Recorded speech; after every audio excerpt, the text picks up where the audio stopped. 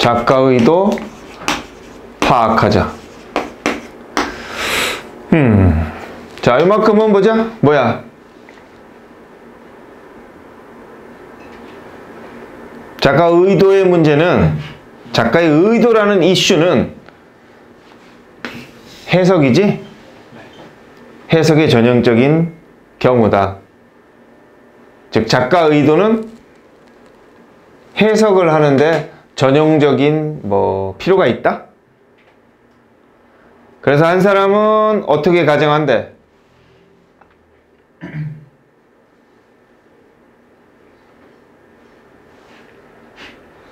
어, 메시지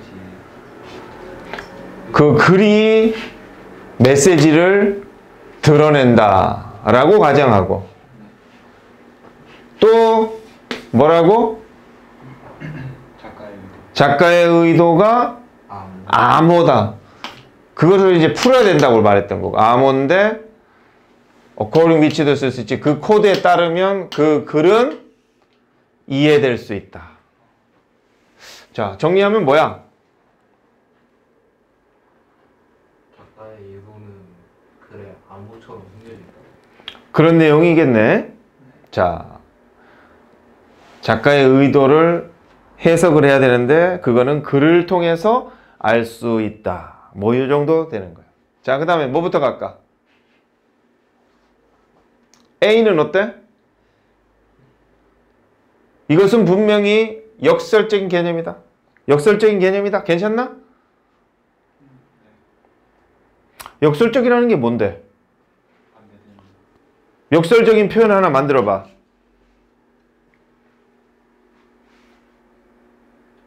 역설적인 표현 만들어 봐. 뭐? 뭐 찬란한 슬픔 뭐 이런 거 있잖아. 그지? 앞뒤말이 맞지 않는 거잖아. 자, 그럼 A번은 괜찮나? 여기 뭔가가 이렇게 막 반대로 드러나는 게 있어 없어? 아직까지 없지? A 아웃. B는 어, 뭐, 그 텍스트니까 이거 어디서 봤는데?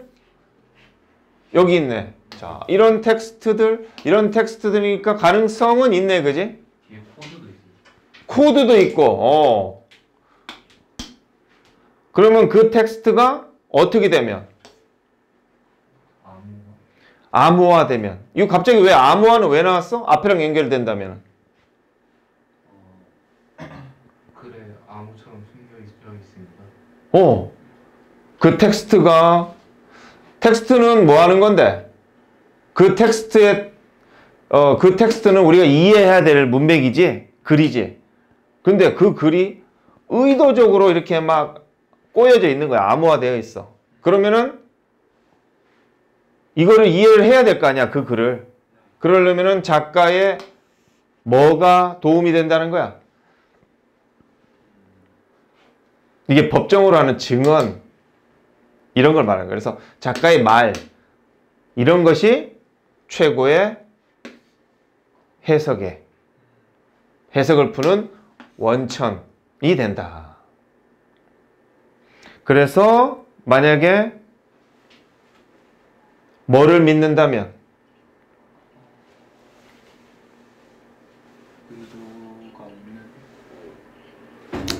그렇지.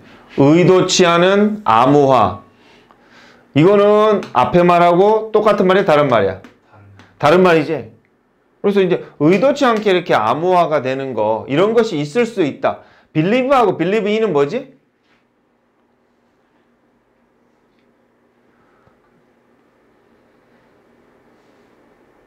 하나는 뭐를 믿다고 하나는 뭐의 존재를 믿다지. 나는 신을 믿는다는 영어로 뭐라고 그러냐?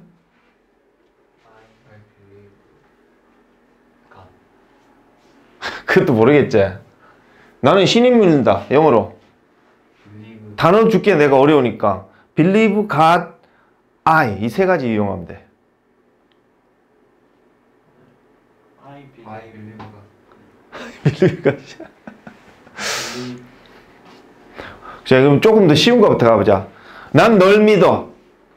내가 단어 어려운 거 세워줄게. I, you, believe야. 난 널 믿어. I believe you 난 신을 믿어. I believe God 두 개가 똑같으면 내가 문제를 안 냈겠지. 난 널 믿어는 무슨 말이지? 난 널 믿어 이 말은 무슨 말이야? 나는 너를 신뢰한다는 의미야.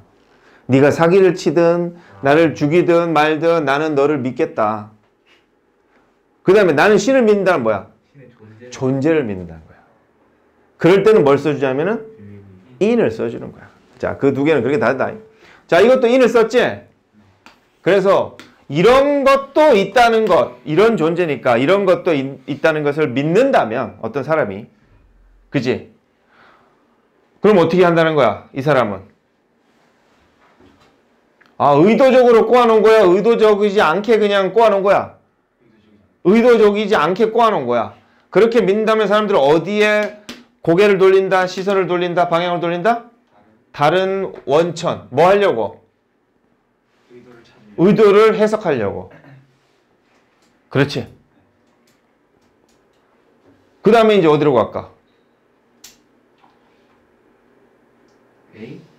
왜? 그럼 이것은 역설적인 개념이다는데, 그럼 역설적인 게 뭐가 있어? 저거요. 의도치 않은 이거 왜? 이게 왜 역설적이야? 원래 의도를 해서 그 의도를 만들잖아요. 그렇지. 의도를 해서 코딩을 해서 암호화를 시킬 거 아니야. 근데 의도치 않게 아, 그렇게 될 수도 있겠지만 의도치 않게 이렇게 암호화하고 난해하게 만든다는 것은 말이 안 맞지. 그지? 그러니까 여기로 갈 수 있겠네. 그래서 이것은 역설적인 거다 해놓고 이렇게 의도치 않은 의도 이런 것은 존재한다 안 한다. 실체인데 존재하지 않는 실체다.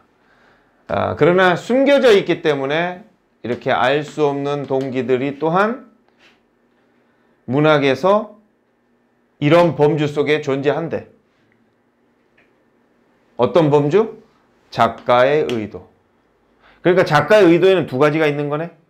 하나는 의도된 거고 하나는 의도되지 않은 거다. 그래서 이런 역설적인 표현은 기능적인 역할을 한다고 그랬네. 그러면 이제 이거 다음에 뭐만 연결되면 돼?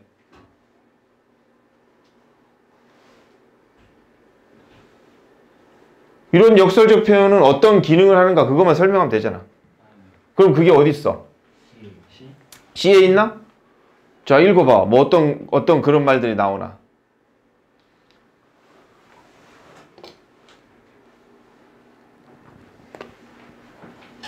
자 C에서 그런 내용이 나오나 봐봐.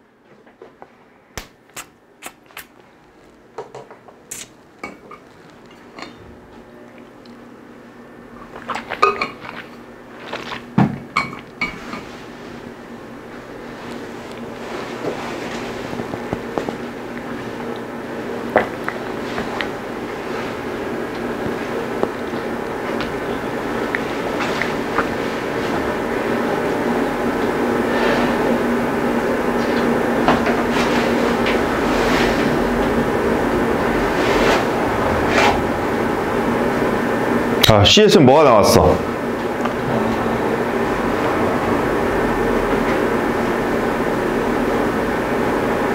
자 여기서 이렇게 가야 되는데 어떻게 연결돼? 자 누가 말해볼 사람?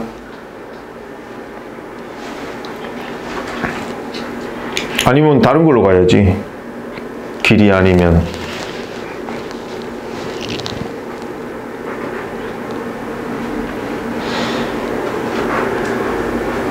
저거 작가의 의도가 아닌 음. 독자나 아니면은 그 문화적인 의도로 해석될 수 있다. 음. 그러니까 위에 보면은 음. 작가의 의도가 아닌 다른 걸로도 해석될 수 있다고. 어 그런 말 나왔지. 네. 그렇지. 자, 여기 보면 뭐라고 되겠어? 알 수 없는 동기들. 작가가 의도치 않은 그런 이런 역설적인 표현들, 그런 작가의 의도의 카테고리에 있지만은 이런 알 수 없는 의도치 않은 이런 것들을 해석을 해야 돼, 안 해야 돼? 해야 되겠지. 이 글은 전체 주제가 뭐였어? 글, 해석을 위해서는 의도를 파악해야 된다. 이거지? 근데 이 의도는 뭐가 있다? 작가의 고의적인 의도가 있고 뭐 우연히 만들어진 그런 의도도 있다. 요게 가장 이 글을 핵심적으로 정리한 거지.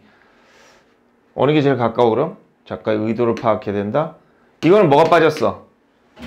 글 해석을 하기 위해서는이라는 말이 빠졌지? 이거는 탈락. 이거는 의도 이것도 글 해석이 빠졌지? 이거는 어, 글 해석을 목적 글씨의 의도를 파악해야 된다. 괜찮지? 근데 조금만 더 정확하게 하려면 뭐야? 의도된 의도와 의도되지 않은 의도도 같이 파악해야지 글 쓰는 것을 정확하게 이해할 수 있다. 내게 더 좋지?